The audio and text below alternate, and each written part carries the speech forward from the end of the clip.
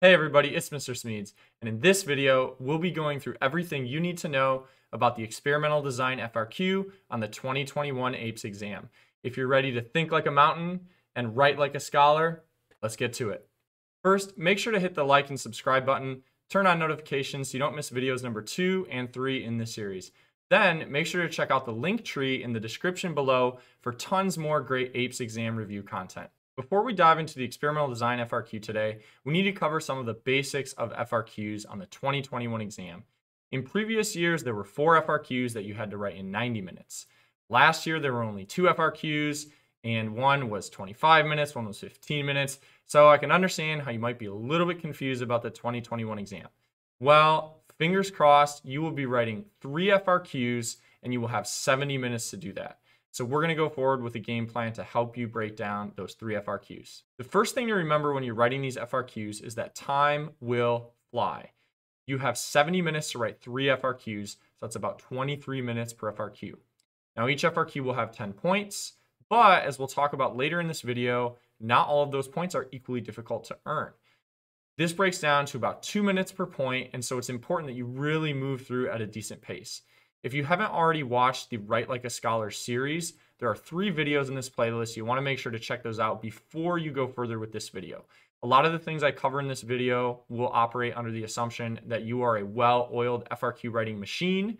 And if you're not quite yet, that's okay. You have time to get there, but you definitely want to check out the Write Like a Scholar series first. The other thing that you need to remember before we get into writing the experimental design FRQ is that you do not need to be perfect when you're writing these FRQs. Each FRQ will be out of 10 points, and if you want to score a 5 in the exam, you need to average between 7 and 8 points across these three FRQs. If you want to earn a 4, you need to average between a 6 and a 7, and if you want to earn a 3, you need to average between a 5 and a 6. So you can earn a 5 even if you skip one or two questions per FRQ, so long as you're getting most of the others correct. Now, what we'll talk about in this video is which points are the easier points that you want to focus on and ensure you're earning, and which points to skip if you're running low on time or if you're not feeling as confident on those points. So the first thing you need to know about the experimental design FRQ is that roughly half of the 10 points on this FRQ will be based on a described experiment. Now, I actually recommend going right to the experimental design questions even if they're not the first listed, because I think they're some of the easier points on the FRQ, and you would not want to run out of time when you have an identify a control group uh, hanging out down there at the bottom of that FRQ.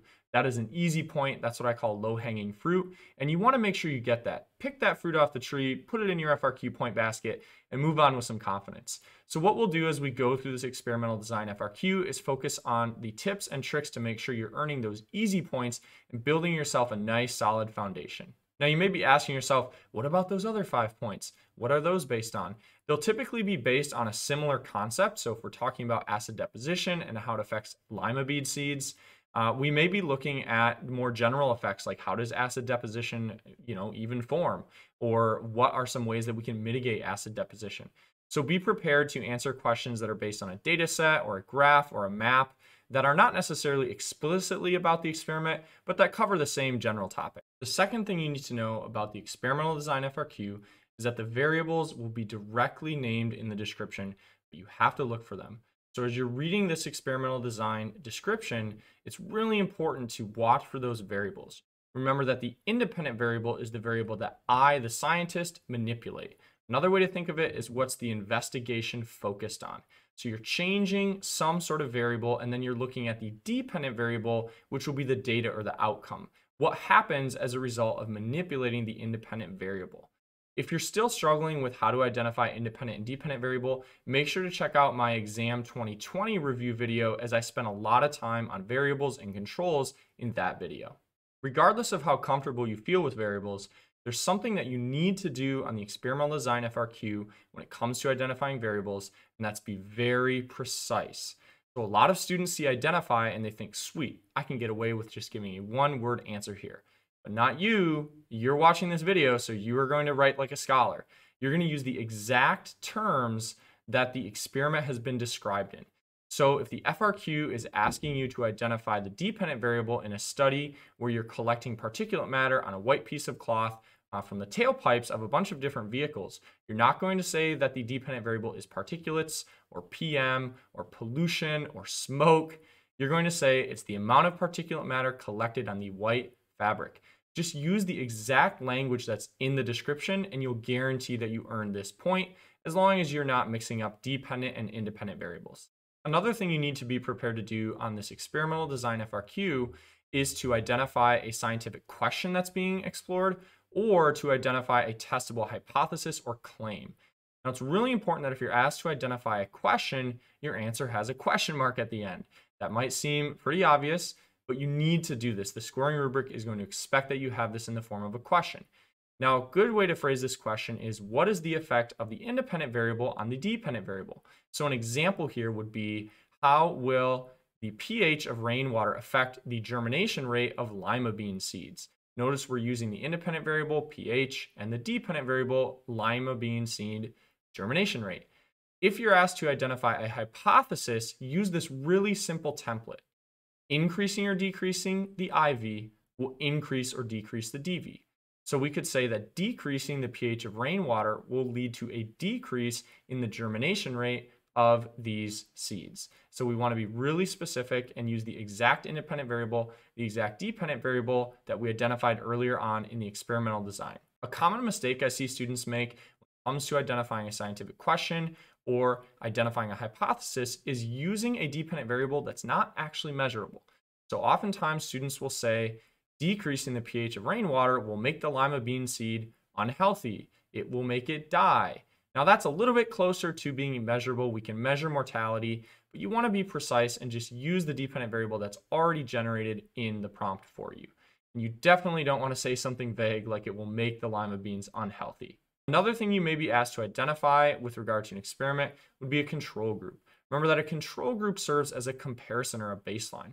So a great example here would be using distilled water, which has a pH of 7, to just serve as a control for these other acidic water treatments that you're putting with your lima bean seeds. Another prompt you may get hit with on this experimental design FRQ is identifying constants or controls. Now you want to be really careful here because if they're asking for a control group, they'll use the word group, but they may just use the word control. And what they really mean by that is constants. So this would be things such as keeping the volume of water that's given to each treatment the same, watering each of these seed groups with the same frequency, and keeping the same number of seeds in each treatment or in each group.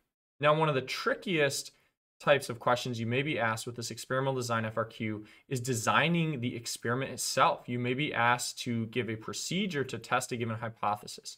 The key here is to keep it short. You do not need five or six sentences. You don't need step after step. You need to just clearly lay out at least three groups, usually a control and two experimental, clearly state your independent and dependent variable, and then give some indication as to how data will be gathered. If you do those things, you should do enough to earn this one point. The biggest thing I want to reiterate here is to not write this out as if this is an entire experiment. It's going to be worth one point at the max. You don't want to write this whole paragraph and spend all of your time designing an experiment. Keep it short, identify your groups, your variables, and specify how you'll collect data for the dependent variable. Another thing to be aware of is that nestled within these experimental design questions, even within the same sub question, you may be asked a conceptual question all of a sudden. So you might be asked to explain what the effects of acidic water might be on plants. So this would be involving, you know, concepts such as macronutrients and H plus ions in the soil. So you might say something like a low pH uh, in your rainwater is going to lead to H plus ions accumulating in the soil you know, leaching out positively charged macronutrients like calcium or potassium. The thing you don't want to do here is get totally stuck and get derailed. It's going to be within the same context of the experiment you're already talking about. But if you look at it and you think, I don't know this content, skip past it because oftentimes there's one more experimental design question beneath it. And so you don't want to get hung up and get out of your groove. If you have to skip one or two questions on an FRQ, this explain the scientific concept behind the lab or behind the investigation is probably one of the first points that I would skip. And finally, you need to be prepared for the trickiest part of the experimental design FRQ, which will ask you to either propose a modification that will alter the results of the study or to predict how a given modification will alter the results of the study or the experiment. The key here is not to panic.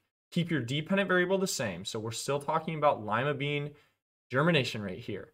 Uh, we're not starting over from scratch. what we are probably doing is picking a new independent variable. So rather than looking at water that has different pHs, maybe we're going to look at water that has different concentrations of a given pollutant, like aluminum. Or maybe we're going to look at the effects of crushing up limestone and adding that limestone to some of these treatments to see if that can buffer the acid deposition that we're simulating. So don't panic, don't start over, just pick a different independent variable, and that is likely going to be an acceptable change that would modify the results. So now that we've learned how to think like scientists on this experimental design FRQ, let's put our knowledge to the test. If you go down in the video description below, you will find a full-length practice FRQ from the 2020 exam period, and that will cover experimental design. You'll also find linked in that document an exam review video produced by Scott Sowell, who is a veteran APES teacher, and he's going to go through with you exactly how to score that FRQ so that you can write it and self-score. I recommend putting on a 23 minute timer so you get used to that exam pacing. And then I recommend watching that video because Scott does an awesome job of breaking down exactly how many points you would earn for given answers. If you have any other questions about the 2020 exam, FRQs, or anything APES related, make sure to leave them down in the comments below. Also, make sure to hit that subscribe button, turn on notifications if you haven't already. You don't want to miss videos number two and three in this series. And as always, think like a mountain, write like a scholar.